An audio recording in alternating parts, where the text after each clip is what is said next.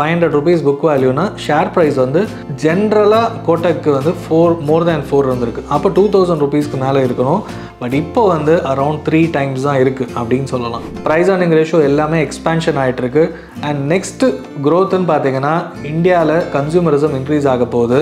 அதனால் இந்த ஃபுட் செக்மெண்ட்டில் இன்னும் எக்ஸ்பேண்ட் ஆகிறதுக்கான வாய்ப்புகள் ஜாஸ்தி. நார்மல் பிஸ்கெட்ஸாக இருக்கட்டும் எக்ஸிஸ்டிங் வேஃபர் செக்மெண்ட்ஸ் இது எல்லாமே பார்த்தீங்கன்னா low margin but premium bakery segments premium biscuit segments போகும்போது உங்களுக்கு ப்ராஃபிட் மார்ஜின் ஜாஸ்தி. அதை நோக்கி இந்த கம்பெனி வந்து ட்ரைவ் ஆகிட்டுருக்குன்னு சொல்லலாம். ரீசெண்டாக க்ராய்சண்ட் வந்து நீங்கள் நிறைய ஷாப்ஸில் பார்த்துருப்பீங்க. அந்த க்ராய்சன்ட் வந்து நிறைய ஆர்என்டி பண்ணி எந்த டேஸ்ட்டு எந்த நெ- நிலையில இருந்தால் நிறைய பேருக்கு பிடிக்குதுன்றதை அனலைஸ் பண்ணி ஓவர் ஸோ மச் அனாலிசிஸ் தான் அந்த ப்ராடக்ட் வெளியிலவே லான்ச் ஆச்சு. இன்ஃப்ளேஷன் ஜாஸ்தி ஆகும்போது ப்ராடக்ட்ஸ் ப்ரைஸிங் ஜாஸ்தி ஆச்சு ரா மெட்டீரியல் காஸ்ட் இன்க்ரீஸ் ஆச்சு. ஸோ அதனால் இந்த இந்த கம்பெனிக்கு இம்பேக்ட் இருக்கும்னு பார்த்தாங்க. பட் ப்ரீமியம் செக்மெண்ட் மூவ் ஆகிறதுனால அண்ட் ஆட்டோமேட்டிக்காக இந்த ஏர்னிங்ஸ் வந்து இம்ப்ரூவ் ஆகிட்டு இருக்குன்னு சொல்லலாம். கட்டுமானத்தின் வலிமை கட்டிடங்களின் பாதுகாப்பு ஸ்ரீ துர்கா டிஎம்டி கம்பிகள்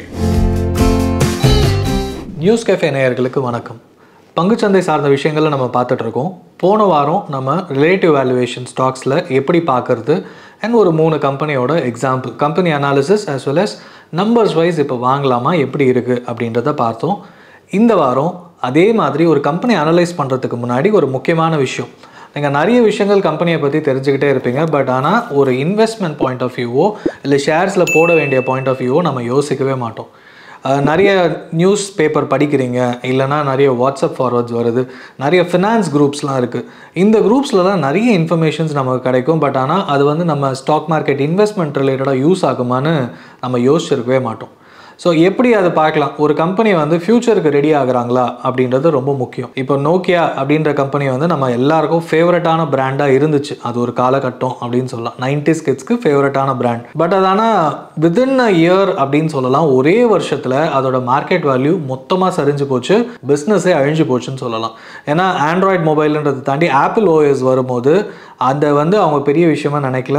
அண்ட் ஆண்ட்ராய்டு வரும்போது அதை அடாப்ட் பண்ணணும்னு அவங்க நினைக்கல. அடாப்ட் பண்ணியிருந்தாங்கன்னா சாம்சங்கோட இடத்த அவங்க பிடிச்சிருக்கிறதுக்கான வாய்ப்பு கிடச்சிருக்கும். அதே மாதிரி கோடாக் பார்த்தீங்கன்னா ஃபிலிம்ஸ் நிறைய அந்த படம் எடுக்கிறதுக்கான ஃபிலிம்ஸ் பண்ணிட்டு இருந்தாங்க. அவங்க பிஸ்னஸ் அசைக்கவே முடியாதுன்னு எதிர்பார்த்தாங்க. அந்த இண்டஸ்ட்ரியிலே கொடாக்லேயே ஒர்க் பண்ண ஒருத்தர் வந்து டிஜிட்டல் ஃபோட்டோகிராஃபி அப்படின்னு அவர் சொல்லும்போது இதெல்லாம் வேலைக்கு ஆகாது இதெல்லாம் பண்ண வேணாம். அப்படின்னு சொல்லிட்டு அவங்க அதை ஸ்டாப் பண்ணிட்டாங்க. ஆனால் within few years once Android mobile வரும்போது ஆண்ட்ராய்டு ரிலேட்டடாக ஓஎஸ் எல்லாம் அடாப்ட் பண்ண ஆரம்பிக்கும் போது டிஜிட்டல் மார்க்கெட் டிஜிட்டல் ஃபோட்டோகிராஃபிஸ்லாம் மொபைல்லேயே வந்த பிறகு ஃபிலிம்ஸ்க்கான தேவை பயங்கரமாக குறைஞ்சு போச்சு. அந்த இண்டஸ்ட்ரியும் ப- அந்த கம்பெனியும் ஒரேடியாக அழிஞ்சு போச்சுன்னு சொல்லலாம்.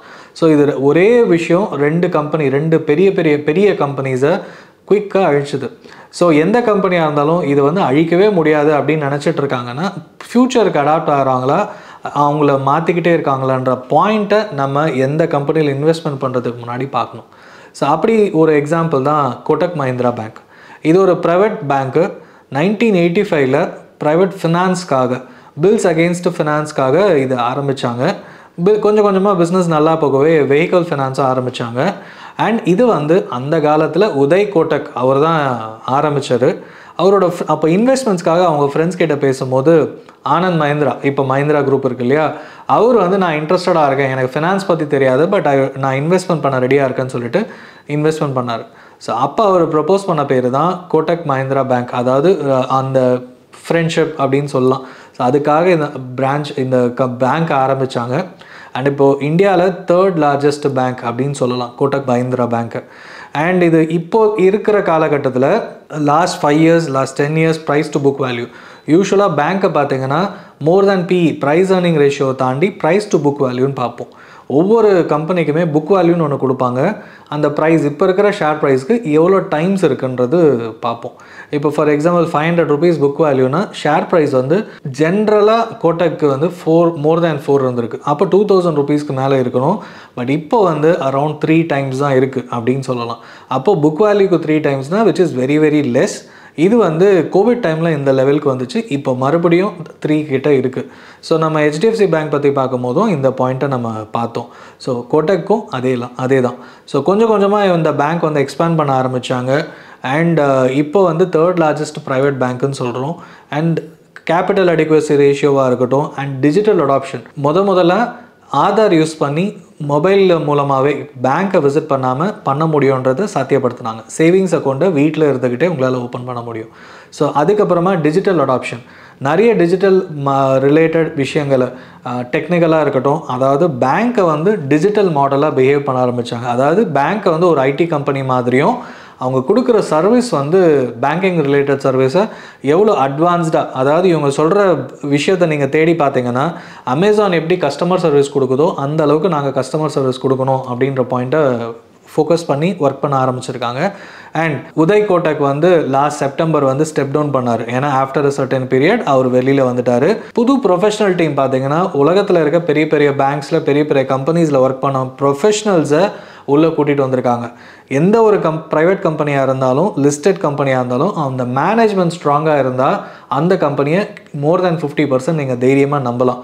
அப்படி பார்த்தீங்கன்னா இது ஒரு ஸ்ட்ராங் மேனேஜ்மெண்ட் அப்படின்ற பாயிண்ட்டு ஃபண்டமெண்டலி இது ஒரு ஸ்ட்ராங் மேனேஜ்மெண்ட்னு பார்க்கலாம் அண்ட் பெரிய ஹிஸ்ட்ரி இருக்குது ஃப்ரம் நைன்டீன் எயிட்டி ஃபைவ் படிப்படியாக வளர்ந்து இப்போ தேர்ட் லார்ஜஸ்ட் பேங்க்குன்னு பார்க்கலாம் அண்ட் இமீடியட் த்ரெட்டுன்னு பார்த்தீங்கன்னா இவங்க ஆல்ரெடி டிஜிட்டல் அடாப்ஷன் அண்ட் எவ்வளோ அட்வான்ஸ்டாக யோசிக்க முடியுமோ பண்ணிகிட்ருக்காங்க ஸோ பேங்கிங் வைஸ் இந்தியாவில் நீடு வந்து இன்னும் க்ரோ ஆகிட்டே இருக்க போது next ten to twenty years இந்தியாவோட க்ரோத் ஸ்டோரின்னு பார்த்தீங்கன்னா பேங்கிங்கோட க்ரோத் ஸ்டோரி கண்டிப்பாக இருக்குது ஸோ அதனால் இந்த பேங்க்குக்கு வந்து பெரிய இமீடியட் த்ரெட்டோ இல்லைனா ஒரு ஃபினான்ஷியலி இவங்க ரொம்ப ஸ்ட்ராங்காக இருக்காங்க. ஸோ த்ரெட்டுன்ற பாயிண்ட்டும் இந்த பேங்க்கை பொறுத்த வரைக்கும் இப்போதைக்கு கிடையாது. ஸோ வேல்யூவேஷன் வைஸ் நாம் இப்போ வாங்கலாமான்னு பார்த்தீங்கன்னா ப்ரைஸ் டு புக் வேல்யூ அப்படின்றத ஆல்ரெடி பார்த்தோம். ஸோ நீங்கள் வாங்குறதுக்கான சரியான அளவில் இருக்குது அப்படின்னு சொல்லலாம். அண்ட் மற்ற point of view NPA non performing asset சொல்லுவோம். அது வந்து அரவுண்ட் ஒன்றரை டு ரெண்டு பர்சன்ட்குள்ளே தான் இருக்குது அண்ட் நெட் என்பிஏவும் வெரி நெக்லிஜிபிள் பர்சன்டேஜ் சொல்லலாம். அதாவது கரண்ட் அக்கௌண்ட்டு சேவிங்ஸ் அக்கௌண்ட் ரேஷியோன்னு பார்த்தீங்கன்னா இருக்கிற ப்ரைவேட் பேங்க்ஸ்லேயே இவங்க தான் வந்து ரொம்ப ஜாஸ்தியாக வச்சுருக்காங்க. ஸோ ஒரு டூ த்ரீ இயர்ஸ் முன்னாடி இந்த மாதிரி பேங்க்கை வாங்க முடியுமானா வேல்யூவேஷன் ஜாஸ்தியாக இருக்குது தள்ளி போடலாம் அப்படின்னு தான் நிறைய பேர் சொல்லியிருப்பாங்க. பட் இப்போ பார்த்தீங்கன்னா இது வேல்யூவேஷன் வைஸ் uh, வாங்கக்கூடிய நிலமையில் இருக்குது அப்படின்றத நம்ம பார்க்கலாம். அண்ட் uh, இது வந்து banking sector already HDFC bank பார்த்தோம் இது வந்து கோட்டக் மஹிந்திரா பேங்க் நெக்ஸ்ட்டு வந்து இன்னொரு கம்பெனி அதே மாதிரி ஃப்யூச்சர் ரெடியாக இருக்காங்களா அப்படின்னு பார்த்தீங்கன்னா பெக்டார் ஃபுட்ஸ் இது தமிழ்நாட்டில் இந்த கம்பெனியை பற்றி கேள்விப்பட்டிருக்க மாட்டீங்க. பட் ஆனால் நார்த் இந்தியாவில் லுதியானா பஞ்சாப் இந்த மாதிரி சிட்டிஸில் ஹரியானாவில் செவன்ட்டீஸில் பதினேழு வயசில் கல்யாணம் பண்ண ஒருத்தவங்க அவங்களுக்கு வந்து ஒரு பேக்கரி ரிலேட்டடாக கற்றுக்கிட்டு கல்லனரி ஆர்ட்ஸ்லாம் கற்றுக்கிட்டு நான் வந்து வீட்டில் இருந்து பண்ணுறேன் அப்படின்னு ஒரு இருபதாயிரம் ரூபாயில் ஸ்டார்ட் பண்ண பிஸ்னஸ் தான் இந்த பெக்டார் ஃபுட்ஸ் அவங்க வந்து ரஜினி பெக்டார் இருபதாயிரம் ரூபாயில் ஆரம்பித்து இப்போ இவங்களோட மார்க்கெட் கேப் பார்த்தீங்கன்னா ஆறாயிரத்தி இரநூத்தம்பது கோடி. ஸோ கிட்டத்தட்ட ஸ்மால் கேப் லெவலுக்கு இப்போ வந்திருக்காங்க. மைக்ரோ கேப்பாக லிஸ்ட் ஆனாங்க பட் இப்போ ஸ்மால் கேப் அளவுக்கு வந்திருக்காங்க. அண்ட் க்ரீமிகா பிஸ்கெட்ஸ் அதாவது biscuit segment and bakery segment ரெண்டு தனியாக வச்சுருக்காங்க. இங்கிலீஷ் ஓவன் அப்படின்ற பிராண்டில் பேக்கரி ஃபுட்ஸ் அதாவது பன்ஸு பிரெட்ஸ் லோவ்ஸ் இது மாதிரி ஐட்டம்ஸ் எல்லாமே இவங்களத வாங்கி மேனுஃபேக்சரர் கிட்ட வாங்கி நிறைய பேக்கரிஸ் வந்து அவங்க செயின்ஸ் ரன் பண்ணிட்டு இருக்காங்க. அந்த மாதிரி விஷயமும் நடக்குது. பிஸ்கெட் செக்மெண்ட்டில் க்ரீமிகா பிராண்டில் நிறைய க்ரீம் பிஸ்கெட்ஸ்லேருந்து விதவிதமான பிஸ்கெட்ஸ் வந்து நார்த் இந்தியா ஃபுல்லாக பாப்புலர் வெரி வெரி பாப்புலர்னு சொல்லலாம். ஸோ சவுத் இந்தியாவில் இன்னும் இவங்க வர ஆரம்பிக்கல. ஸோ அதனால் நமக்கு கம்பெனி தெரியாது. பட் பிராண்டை சர்ச் பண்ணிங்கன்னா இவங்களோட பிஸ்கெட்ஸ் வந்து ரொம்பவே நிறைய இருக்கும். அண்ட் இவங்க மேனுஃபேக்சரிங் ஃபெசிலிட்டி எப்போ இவங்க எக்ஸ்பேண்ட் பண்ண ஆரம்பித்தாங்கன்னா எயிட்டிஸில் வந்து பிரெட் லோவ்ஸை வந்து மேனுஃபேக்சரிங் ஃபெசிலிட்டி வச்சு ஸ்பீடாக நிறைய கொடுக்க ஆரம்பித்தாங்க நைன்டி ஃபைவ்ல வந்து மெக்டொனால்டோட பன்ஸை தயாரிக்கிறது. அந்த பன்ஸை இவங்க தான் தயாரிக்கிறாங்க. அதே மாதிரி ஓரியோ பிஸ்கெட்ஸ் ஓரியோ பிஸ்கெட்ஸ் எத்தனை பேருக்கு பிடிக்கும்? அந்த பிஸ்கெட்ஸோட மேனுஃபேக்சரிங்கும் கான்ட்ராக்ட் மேனுஃபேக்சரர் பெக்டார் ஃபுட்ஸ் தான். அதே மாதிரி நீங்கள் இங்கே ஐக்கியா ஷோரூம்ஸ் தெரியும். இருக்கிறதுல பெரிய ஷோரூம் வச்சுருப்பாங்க. சிட்டிக்கு வெளியில் இருக்கும். அண்ட் அந்த ஃபுட் அவுட்லெட் வந்து ரொம்ப ரொம்ப பாப்புலர் அந்த ஃபுட் அவுட்லெட்ஸில் இருக்க பேக்கரி ஐட்டம்ஸ் எல்லாமே இவங்க கிட்ட இருந்து ரெடி ஆகி போகிறது தான் ஸோ இப்போ பார்த்தீங்கன்னா அண்ட் எக்ஸ்போர்ட்ஸ் பிஸ்கெட் எக்ஸ்போர்ட்ஸும் இருக்கிறதுலே லார்ஜஸ்ட் செகண்ட் லார்ஜஸ்ட் எக்ஸ்போர்ட்டர் அப்படின்னு பார்த்தீங்கன்னா இவங்க தான் இந்த Bector foods so and Quaker oats அவங்களோட ப்ராடக்ட்ஸில் மேக்ஸிமம் பெரிய பெரிய கான்ட்ராக்ட் மேனுஃபேக்சர்னு பார்த்தீங்கன்னா Bector foods one of the biggest contract manufacturer அவங்களோட ஃபுட்ஸ் எல்லாமே இவங்க தான் பண்ணி கொடுத்துட்ருக்காங்க. இவங்க மேனுஃபேக்சரிங் ஃபெசிலிட்டும் ஒன்ஸ் லிஸ்ட் ஆன பிறகு நிறைய நிறைய ஸ்டேட்ஸில் க்ரியேட் பண்ணிட்டு இருக்காங்க so that it helps in exports as well as expanding their product portfolio so அப்படி பார்த்தீங்கன்னா future readiness as well as immediate த்ரெட்டுன்னு பார்த்தீங்கன்னா பிரிட்டானியா பெரிய கம்பெனிஸ் இருக்குது அண்ட் நிறைய சன்ஃபீஸ்ட் இருக்காங்க. நிறைய செக்மெண்ட்ஸ் இருந்தாலும் இவங்க வந்து கான்ட்ராக்ட் மேனுஃபேக்சர் பெரிய பெரிய கம்பெனிஸ்க்கு எக்ஸிஸ்டிங் கம்பெனிஸ்க்கு கொடுக்குறதும் பண்ணுறாங்க அண்ட் அவங்களோட ஓன் பிராண்ட்ஸும் பண்ணிகிட்ருக்காங்க இருக்காங்க. ஸோ தேவ இவங்களோட பிஸ்னஸ் மாடலே ரொம்ப யூனிக் மோட் ஃபேக்டர்னு பெருசாக இல்லாட்டியும் பட் லாங் ஸ்டாண்டிங் ஹிஸ்ட்ரி செவன்ட்டீஸில் ஆரம்பித்து டுவெண்ட்டி டுவெண்ட்டி ஃபோர் வரைக்கும் கிட்டத்தட்ட க்ளோஸ் டு ஃபிஃப்டி இயர்ஸ் இவங்க பிஸ்னஸ் ரன் பண்ணிட்டு இருக்காங்க அண்ட் இவங்க Rajni Bector is close to eighty த்ரீன்னு நினைக்கிறேன். இந்த வயசுலையும் இன்னமும் வந்து புது டே டேஸ்டிங்காக இருக்கட்டும் எல்லா விஷயத்தையும் பார்த்து பார்த்து கம்பெனிஸில் டிசிஷன் எடுத்துகிட்டு இருக்காங்க இவங்க இவங்க சன்னு ரெண்டு பேரில் ஒருத்தர் வந்து பிஸ்னஸில் இன்வால்வ் ஆயிருக்காரு. அவரோட ரெண்டு பசங்களும் பிஸ்னஸில் இன்வால்வ் ஆயிருக்காங்க. ஆஸ் வெல் அஸ் எக்ஸ்போர்ட்ஸும் பார்த்துக்கிறாங்க. லோக்கல் மார்க்கெட்ஸும் ஃபோக்கஸ் பண்ணிகிட்ருக்காங்க இருக்காங்க லிஸ்ட் ஆன டைம்ல இருந்து பார்த்தீங்கன்னா கிட்டத்தட்ட த்ரீ ஹண்ட்ரட் ஃபோர் ஹண்ட்ரட் ருபீஸில் இருந்தது. இப்போது தௌசண்ட் ஹண்ட்ரட் ருபீஸ் கிட்ட இருக்குன்னு சொல்லலாம். அண்ட் ப்ரைஸ் அர்னிங் ரேஷியோ எல்லாமே எக்ஸ்பேன்ஷன் ஆகிட்டுருக்கு அண்ட் நெக்ஸ்ட்டு க்ரோத்துன்னு பார்த்தீங்கன்னா இந்தியாவில் கன்சூமரிசம் இன்க்ரீஸ் ஆக போகுது. அதனால் இந்த ஃபுட் செக்மெண்ட்டில் இன்னும் எக்ஸ்பேண்ட் ஆகிறதுக்கான வாய்ப்புகள் ஜாஸ்தி. அவங்க இப்போ டார்கெட் பண்ணுற மாதிரி கான்ட்ராக்ட் மேனுஃபேக்சரிங்கும் பெரிய பெரிய கம்பெனிஸ்க்கு கிடைக்கும் போது இவங்களோட போர்ட்ஃபோலியோ எக்ஸ்பேன்ஷன் இன்னும் சூப்பராக நடக்கும்னு சொல்லலாம். ஸோ இந்த ரெண்டு கம்பெனிஸ் நம்ம பார்த்த கோட்டக் மஹிந்திராவும் சரி பெக்டார் ஃபுட்ஸும் சரி அவங்க இப்போ இருக்கிற மார்க்கெட் செக்மெண்ட்டை தக்க வச்சுக்கவும் முடியும். ஃப்யூச்சர் ரெடினஸ்க்காக அவங்க நிறைய இன்வெஸ்ட்மெண்ட் பண்ணிட்டு இருக்காங்கன்றது தெரியுது. ஸோ நீங்கள் வேறு ஏதாவது கம்பெனிஸ் பார்த்தாலும் இந்த பாயிண்ட்டை அந்த கம்பெனி இம்ப்ளிமெண்ட் பண்ணுறாங்களான்ற விஷயத்த மட்டும் யோசிச்சு பாருங்கள் and this is one of the முக்கியமான க்ரைட்டீரியா நம்ம ஒரு இன்வெஸ்ட்மெண்ட் பண்ணும்போது நம்ம ஹார்ட் ஏர்ன் மணி அதை போடுற கம்பெனியும் வாங்குகிற பணத்தை கரெக்டாக செலவு பண்ணுறாங்களா பண்ணுற செலவு மூலமாக நிறைய ரெவென்யூ ஈட்டுறாங்களா? அப்படின்றது தான் இந்த இன்வெஸ்ட்மெண்ட்ஸ் இன்னொரு கம்பெனி ரிலேட்டட் ஆல்ரெடி நான் பிரிட்டானியான்னு சொன்னேன். இதோட காம்படிட்டர்னு சொல்லலாம்.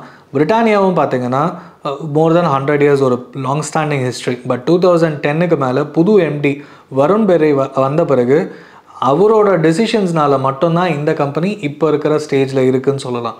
அண்ட் இவங்களோட பெரிய அட்வான்டேஜை பார்த்தீங்கன்னா next three to five years என்னென்ன பண்ண போகிறாங்க அதுக்கான ஆர்என்டி ஒர்க்கு அண்டு ஃபிக்ஸ் பண்ணிட்டாங்கன்னா அந்த டைம்லைனில் இவங்க லான்ச் பண்ணுறாங்க ப்ராடக்ட்ஸ் அது எல்லாமே last five to seven years அவங்களோட இன்வெஸ்டர் ப்ரெசன்டேஷன் எடுத்து பார்த்தீங்கனாலே தெரியும். அண்ட் நிறைய moving towards premium segment normal பிஸ்கெட்ஸாக இருக்கட்டும் எக்ஸிஸ்டிங் வேஃபர் செக்மெண்ட்ஸ் இது எல்லாமே பார்த்தீங்கன்னா low margin but premium bakery segments premium biscuit segments போகும்போது உங்களுக்கு ப்ராஃபிட் மார்ஜின் ஜாஸ்தி. அதை நோக்கி இந்த கம்பெனி வந்து ட்ரைவ் ஆகிட்டு இருக்குன்னு சொல்லலாம்.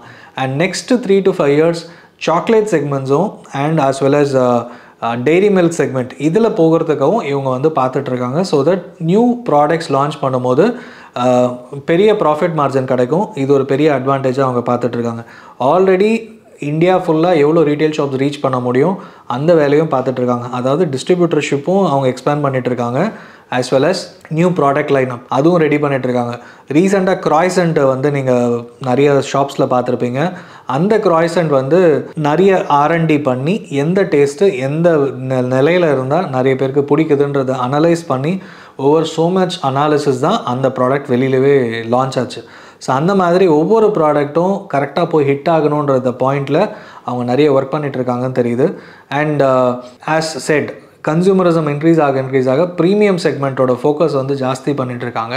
ஸோ தட் ப்ராஃபிட் மார்ஜின் ஜாஸ்தி பண்ணுறது அண்ட் ஃபார் இன்வெஸ்டர்ஸ் இந்த கம்பெனி பெரிய வெல்த் கிரியேட் பண்ணியிருக்குன்னு சொல்லலாம். லாஸ்ட் டென் இயர்ஸ் ஸ்பெசிஃபிக்காக ஸோ நெக்ஸ்ட்டு டென் இயர்ஸும் இவங்கள நம்பி தாராளமாக பணம் போடலாமான்னு கேட்டிங்கன்னா அனலைஸ் பண்ணிவிட்டு தாராளமாக பண்ணுங்கள் valuation wise stock price more then five thousand rupees இருந்தாலும் ப்ரைஸ் அர்னிங் ரேஷியோன்னு பார்த்தீங்கன்னா மீடியன் பிஇ தான் இருக்குது அதாவது ஃபைவ் இயர்ஸாக இருக்கிற பிஇ லெவலில் தான் இன்- இப்போவும் இந்த கம்பெனி இருக்குதுன்னு சொல்லலாம்.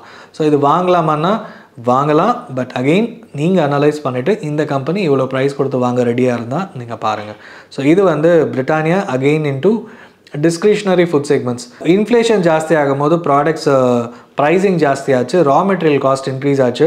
ஸோ அதனால் இந்த ப்ர இந்த கம்பெனிக்கு இம்பேக்ட் இருக்கும்னு பார்த்தாங்க. பட் ப்ரீமியம் செக்மெண்ட் மூவ் ஆகுறதுனால அண்ட் ஆட்டோமேட்டிக்காக இந்த ப்ர இந்த ஏர்னிங்ஸ் வந்து இம்ப்ரூவ் ஆகிட்டு இருக்குன்னு சொல்லலாம்.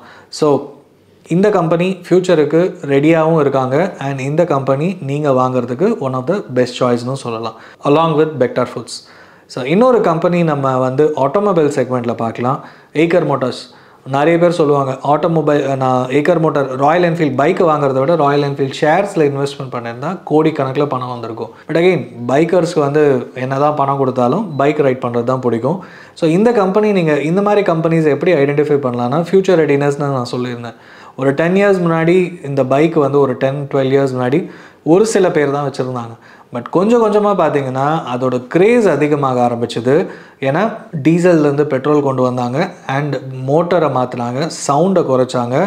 எவ்வளோ சொஃபஸ்டிகேட்டடாக மாற்ற முடியுமோ இப்போ இருக்கிற காலகட்டத்துக்கு ஏற்ற மாதிரி கொஞ்சம் கொஞ்சமாக இம்ப்ரூவ்மெண்ட்ஸ் பண்ண பண்ண நிறைய பேர் வாங்க ஆரம்பித்தாங்க அதே மாதிரி எங்கெங்கெல்லாம் பிராண்டிங் பண்ண முடியும்? ஸோ பைக்கர்ஸ் கிளப்பில் க்ரியேட் பண்ண ஆரம்பித்தாங்க லாங் ட்ரைவுக்கான அந்த ஃபோக்கஸ் வந்து நிறைய க்ரியேட் பண்ணாங்க. அண்ட் புது புது பைக்ஸை வந்து ரெகுலராக லான்ச் பண்ணாங்க. அண்ட் ஃபார் இன்வெஸ்டர்ஸ் இது வந்து குளோபல் எக்ஸ்பென்ஷனும் அட் த சேம் மூமெண்ட் பண்ண ஆரம்பித்தாங்க European market as well as north American market focus பண்ணாங்க. ஏன்னா அங்கே இருக்கிற பைக்ஸ்லாம் ஓவர் பெரிய இன்னும் பெரிய அளவில் இருக்கும். இவங்க வந்து அந்த two fifty to seven fifty CC செக்மெண்ட்டில் டார்கெட் பண்ணி ஒர்க் பண்ண ஆரம்பித்தாங்க அண்ட் குளோபல் எக்ஸ்பென்ஷனும் நல்லபடியாக போயிட்டுருக்கு.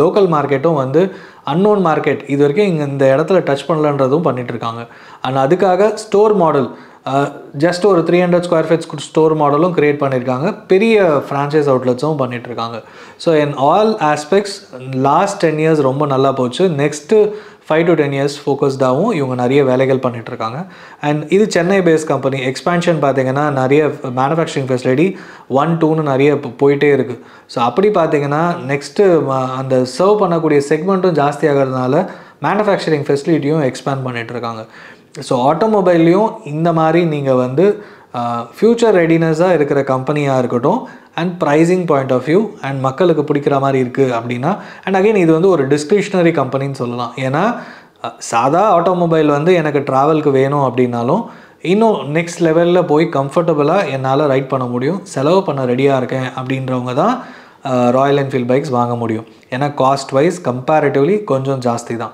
ஸோ இந்த செக்மெண்ட் இந்தியாவில் ஜாஸ்தி ஆகிறது நல்லாவே தெரியுது.